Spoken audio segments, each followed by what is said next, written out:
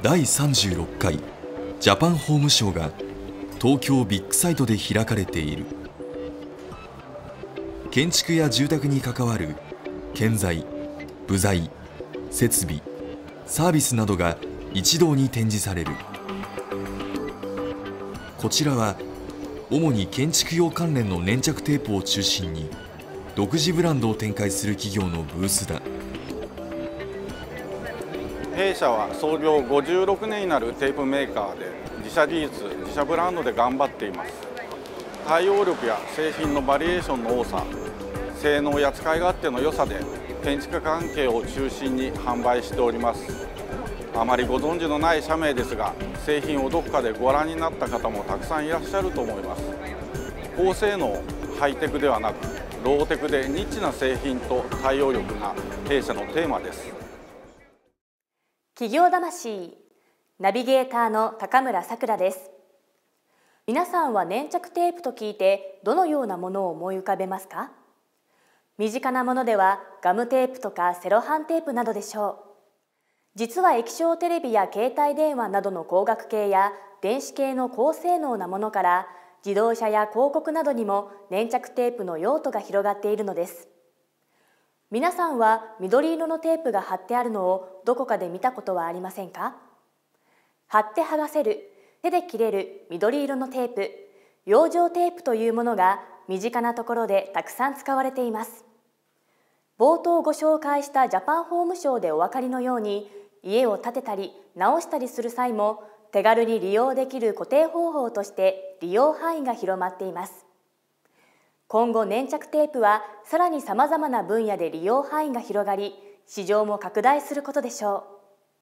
う。しかし貼り付ける素材や期間環境などによってテープの素材や粘着剤の開発など克服しなければならないさまざまな問題があります。企業魂今回は粘着テープ粘着シートの製造販売をおよそ半世紀にわたって続けてきた企業がその蓄積したノウハウをもとに粘着剤と機材のそれぞれを独自のコンセプトで考案し組み合わせいろいろな用途に向け開発独自ブランドとして提供する姿を追いました。ここは山梨県上野原市にある工業科学の工場だ。ここで新製品の開発会議が開かれている。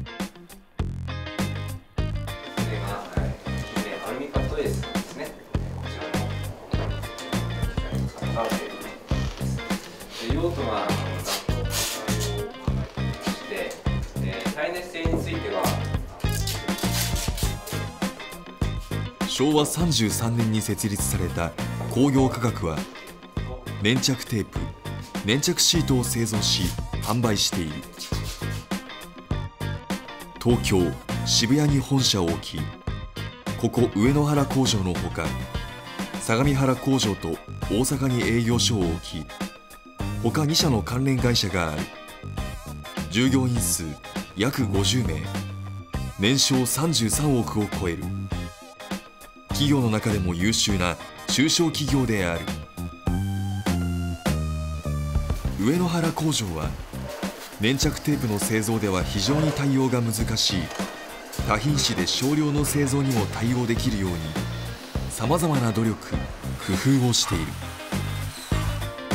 弊社はフラットヤーンという糸を編んだテープを開発し今では粘着テープの中で大きなジャンルの一つを占めています。またフィルムで一方に切れるシートも開発し市場に投入しました。この2つは手切れ性や柔軟性などを追求しシートメーカーの協力のもと多くの試作を繰り返し開発したテープです。また粘着剤は製品ごとにメーカーと開発し使用し粘着剤へのこだわりは非常に大きいです。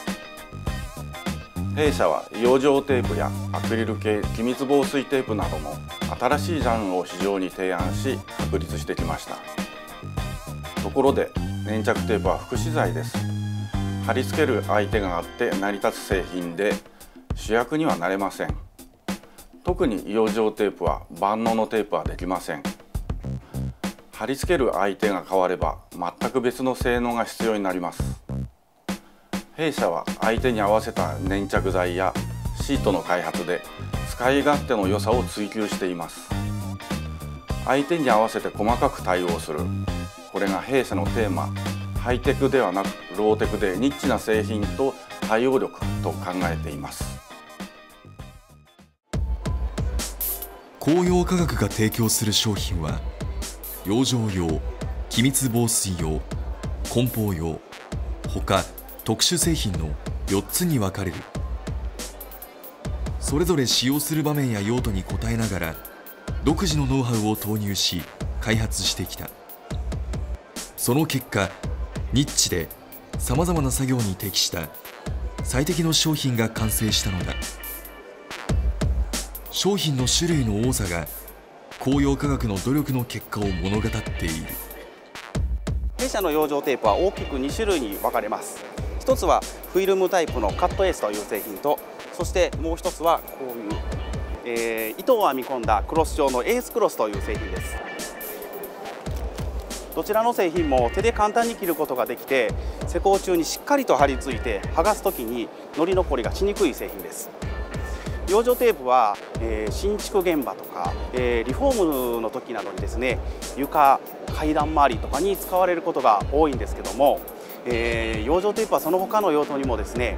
タイルの養生テープであったりとか、えー、橋桁を作る際に使われる橋梁鉄骨塗装養生というものがあります。で身近なものでは、えー、引っ越し関係に使われる引っ越し養生とかというのもございます。でもちろんこういった展示会場の装飾にも養生テープはすごく活躍しています。で弊社の製品はたくさんの試着剤に合わせていろいろご提案できるように粘着力の強いものからそして弱いものまでたくさんのバリエーションでお客様にご提案の方をさせていただいております。えーと、こちらの方が、えーと、防水機密テープになります。おそらく普段皆様が、えーと、目に見えるというか、えー、と見ることができない製品の一つなんですけども壁の中で、えー、使用する製品の一つになっています。こういった開口部周り、えー、窓周りですね。こういったところに、えー、この機密テープは使用されます。あと断熱材のところにも使用されます。でこの製品の、えーと、いいところはですねえー、アクリルの機密ののりと、えー、フラットヤンという、え、機材ですね。これを組み合わせまして壁の中で、えーと50年以上耐久できるという製品の一つです。で手で簡単に切れまして、えー、あと手が汚れない。ということで非常にあの施工される方にとっては非常に、えー、いいという高評価をいただいております、えー、特にですね片面に関しましては、えー、北の方北海道東北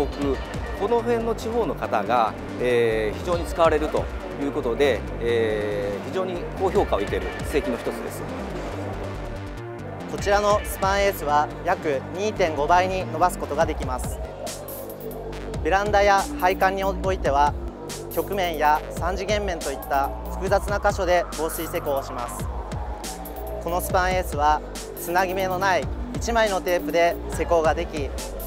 粘着剤も強力なアクリル系の粘着力で